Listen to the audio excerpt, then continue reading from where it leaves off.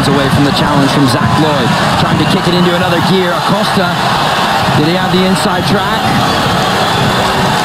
He might have, but there was too much contact and a yellow card for the 20-year-old. He took an angle towards Accam instead of towards his own goal and cutting in front of Accam as we see here. Good little turn by Accam. Too easy there. And there you see the foul. A necessity marked by Acosta there. As he was staring at Dan Kennedy had he not fouled him. We've heard about Accam speed, but I tell you what,